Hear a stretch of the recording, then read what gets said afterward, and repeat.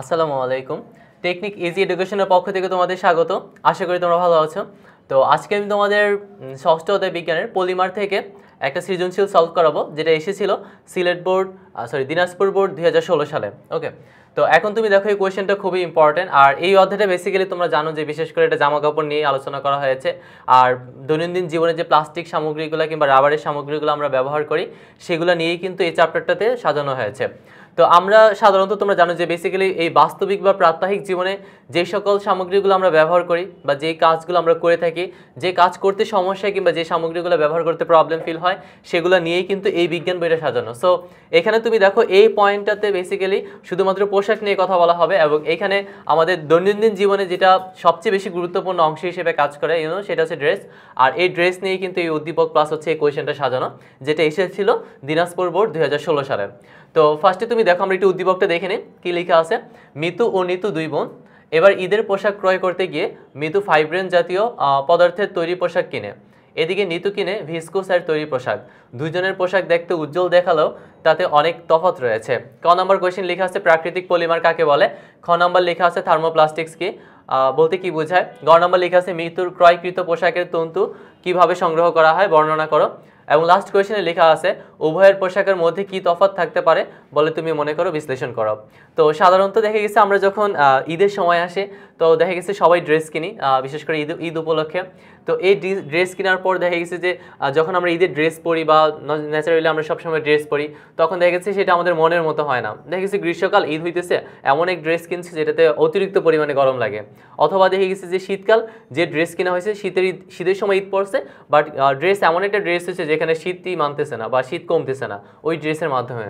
তো এটা বিশেষ করে ঋতুর সাথে ড্রেসের মিল রয়েছে প্লাস হচ্ছে সার্বিকভাবে কিছু ড্রেস রয়েছে যেটা আরামদায়ক মনে হয়। কিছু ড্রেস আছে দেখতে অনেক উজ্জ্বল, অনেক জোস। কিন্তু কথা হচ্ছে এটা পরলে কি হবে না? অতটা বেশি আরামদায়ক মনে হবে না। তো এখন সেগুলো নিয়েই কিন্তু আলোচনা করা এবং বাস্তবিক জীবনে যেহেতু ড্রেস ইম্পর্টেন্ট সো এখানে বলা বাহুল্য যে এগুলো আমাদের জানা আবশ্যক যে কোন ড্রেস কীভাবে তৈরি করা হয়, কোন তন্তু থেকে তৈরি করা হচ্ছে, সেটা আমাদের দেহের জন্য অ্যাডজাস্টেবল কিনা, সেই জিনিসগুলো নিয়েই কিন্তু এখানে আলোচ, আলোকপাত করা হবে। তো যাই হোক বন্ধুরা, আমরা কোয়েশনগুলো একটু অ্যানালাইসিস করি। প্রাকৃতিক পলিমার কাকে বলে? আর প্রকৃতি থেকে যে পলিমারগুলো আসবে, সেগুলোকে কি বলা হবে? প্রাকৃতিক পলিমার বলা হবে। ডেফিনেশনটা আমি আবারও দিচ্ছি দেখো, প্রকৃতি থেকে যে পলিমারগুলো পাওয়া যায়, এগুলো ল্যাবরেটরিতে সৃষ্টি করাবে না অথবা বিজ্ঞানীরা সৃষ্টি করবে না। যেগুলো প্রকৃতিতে আপনা আপনি সৃষ্টি হয়, সেগুলোকে কি বলা হবে? প্রাকৃতিক পলিমার বলা হবে। খ নাম্বার ছিল থার্মোপ্লাস্টিক বলছে কি বোঝায়?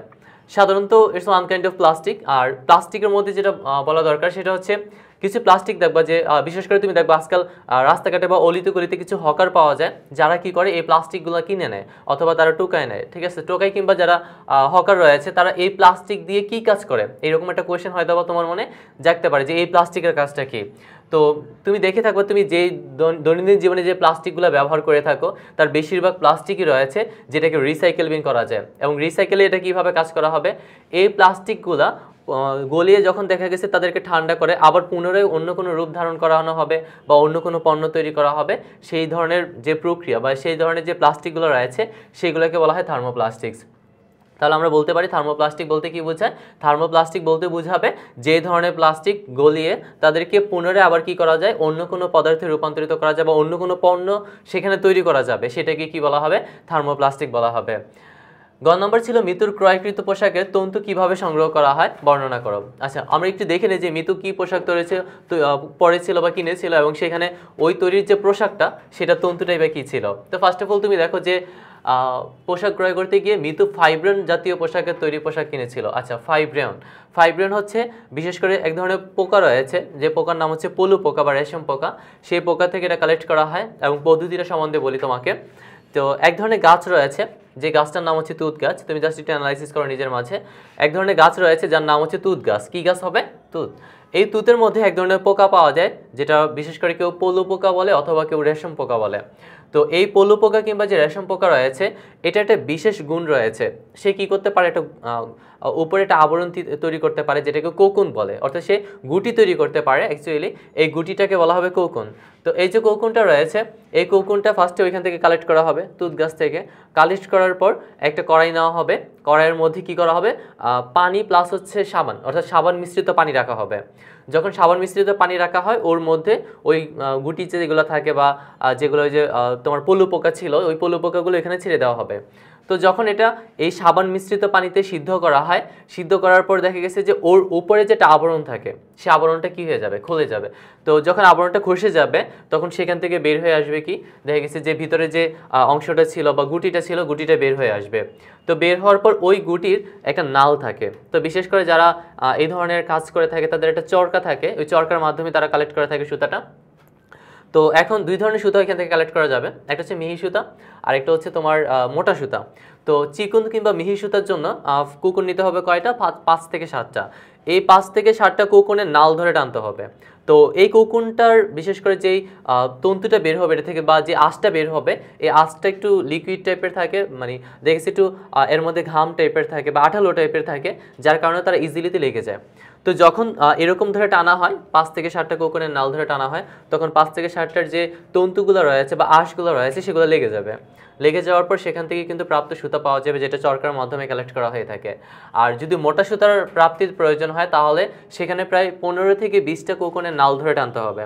তো যখন পনেরো থেকে বিশটা কোকনের নাল ধরে টানা হবে, তখন সেমভাবে কিন্তু কি হবে? সেখানে ওই যে বিশেষ করে তন্তুগুলো ছিল বা আঁশগুলো ছিল, সেগুলো কিন্তু একসাথে লেগে যাবে। তো যখন লেগে যাবে, তখন সেখানে এবার চরকার মাধ্যমে সেগুলোকে কালেক্ট করা হবে। এইভাবেই কিন্তু বিশেষ করে এই ধরনের রেশম পোকা থেকে কিংবা পল্লু পোকা থেকে সুতা কালেক্ট করা হয়ে থাকে। তো একটা বিশেষ প্রক্রিয়া যেটা ফাইব্রিয়ন নামক একটা অংশ থেকে তৈরি হয়।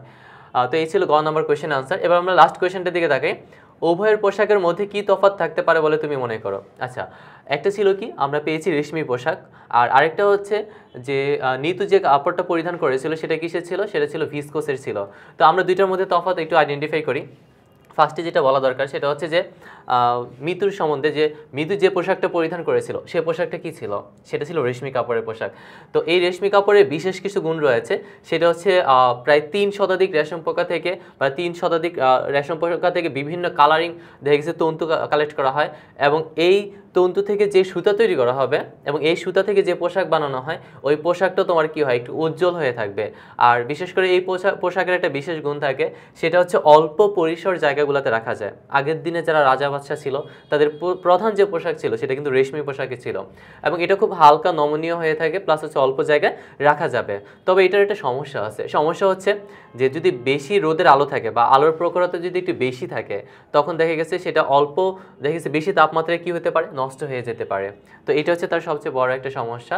আর বিশ্ব বিশেষ করে এটা গ্রীষ্ম কিংবা গ্রীষ্ম আর হচ্ছে, বর্ষা হচ্ছে গ্রীষ্ম, আর মাঝামাঝি যে, বা শীতের আগে শীত আর হচ্ছে গ্রীষ্ম আর মাঝামাঝি যে সময়টা রয়েছে, এই সময়টা পরিধান করা যেতে পারে। তো বিশেষ কিছু গুণাবলীর বৈশিষ্ট্যের কারণে কিন্তু এই রেশমি পোশাকের বিশেষ কিছু উজ্জ্বলতা রয়েছে। আর অন্যদিকে তুমি দেখো, নিতু যে পোশাকটা পরিধান করেছিল, সেটা ছিল কিসের? সেটা ছিল ভিসকোসের, ঠিক আছে? তো ভিসকোসের যে পোশাকগুলো রয়েছে, তো এই পোশাকগুলো সাধারণত দেখতে নমনীয়, সব চমৎকার হয়ে থাকে বা আকর্ষণীয় হয়ে থাকে। তবে এটা যদি অতিরিক্ত তাপমাত্রা দেওয়া হয়, তাহলে কিন্তু ভিসকোসটা কী হয়ে যেতে পারে? গলে যেতে পারে। দেখা গেছে এটা অধিক তাপমাত্রায় গলে যাবে। এবং এইখানে বেসিক্যালি যে জিনিসটা আইডেন্টিফাই করা দরকার, সেটা হচ্ছে যে এদের পোশাকগুলো মানে অল্প পরিসরে রাখা যায় দুইটা রাখা যায়। তবে এখানে বেসিক্যালি নিতু আর হচ্ছে মিতুর যে পোশাকটা ছিল, দুইটার মধ্যে আমরা একটাই তফাৎ পেয়েছি, যেটা হচ্ছে যে মিতুর পোশাকটা আরামদায়ক ছিল আর কম আরামদায়ক কারটা ছিল, নিতুরটা ছিল। এবং বিশেষ করে দেখা গেছে যে ভিসকোস টাইপের যে পোশাকগুলো বা ভিসকোসের যে তন্তুগুলো রয়েছে, সেগুলো বিডের মতো তৈরি করে অল্প তাপমাত্রায় গলে যায়, ঠিক আছে? আকর্ষণীয় যদিও হয়ে থাকে, তবু এটা তাপমাত্রায় গলে যেতে পারে। আর এটার প্রধান যে সমস্যাটা রয়েছে, সেটা হচ্ছে মানে আয়রন দিয়ে দেখা গেছে বেশি তাপমাত্রা দিয়ে এটাকে আয়রন করা যায় না বা হিটিং করা যায় না, দেখছে এটা নষ্ট হয়ে যেতে পারে। তো এটাই হচ্ছে এখানে আমরা পার্থক্য করতে পারলাম, যেটা হচ্ছে যে অতিরিক্ত তাপমাত্রায় দুইটা পোশাকের জন্যই কিন্তু সমস্যা। তো এই ছিল মৃত এবং ঋতুর দুই ধরনের পোশাক, একটা ছিল পশ্চিমী পোশাক আর একটা ছিল একটা ছিল তোমার একটা কিসের ছিল? যেটা মিতু পরেছিল সেটা ছিল ফাইভ রেনের এবং অন্যটা যে নিতু পরেছিল সেটা ছিল ভিসকোসের তো এই ছিল তাদের পোশাকের মধ্যে তফাৎ, ঠিক আছে? তো আশা করি তোমরা সচেতন হবা এবং বিশেষ করে তোমরা কোন ঋতুতে কোন ধরনের পোশাক পরিধান করলে আরামদায়ক হবে বা আরামদায়ক মনে করতে পারবা, সেটা তোমরা আইডেন্টিফাই করতে পারবা, এই কোয়েশনগুলো অ্যানালাইসিস করে। তো আমরা আরও কিছু কোয়েশ্চেন নিয়ে তোমাদের বিভিন্ন সমস্যার সম্মুখীন যেগুলো হও, সেগুলো নিয়ে আমরা কীভাবে প্রতিকার করা যায়, সেই সমস্যা প্লাস হচ্ছে প্রতিকার দুইটাই তুলে ধরা হবে। তো সে পর্যন্ত সবাই ভালো থাকো, সুস্থ থাকো, সবার জন্য শুভকামনা আল্লাহ হাফেজ।